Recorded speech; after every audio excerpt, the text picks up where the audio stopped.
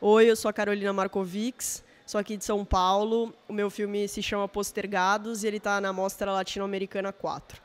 É, uma das coisas mais legais assim no processo foi o trabalho com os atores, que eu tive a honra de trabalhar com atores que eu admiro muito. São eles o, o César Bordon, a Mônica Villa, a Mirella Pascoal, o José Luiz Arias, o Abian Weinstein e o Matias Singer. Para mim foi um grande aprendizado assim o processo de, de criação dos personagens e mesmo de em termos narrativos o quanto eles acrescentaram e tudo mais foi uma coisa muito muito importante para mim e, e, e, realmente que eu nunca vou esquecer.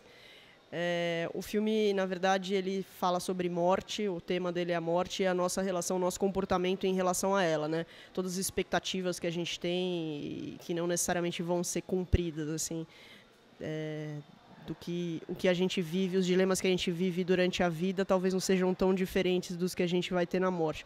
É mais ou menos uma reflexão sobre isso, porque eu, é um, uma coisa que para mim me dá eu sempre tive muita curiosidade do que vai acontecer com a gente quando a gente não estiver mais aqui. Enfim, é isso, obrigada. Espero que vocês gostem.